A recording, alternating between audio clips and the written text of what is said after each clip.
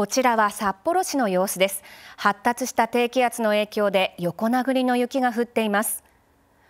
北海道内はこの後さらに雪や風が強まるでしょう。短い時間に一気に積雪が増える恐れがあります。明日にかけて猛吹雪や大雪に厳重な警戒が必要です。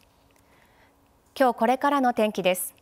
日本海側はこの後も広い範囲で雪が降り北陸や北日本では暴風雪に警戒が必要です。関東など太平洋側は大体晴れるでしょう。全国的に北風が強く厳しい寒さとなりそうです。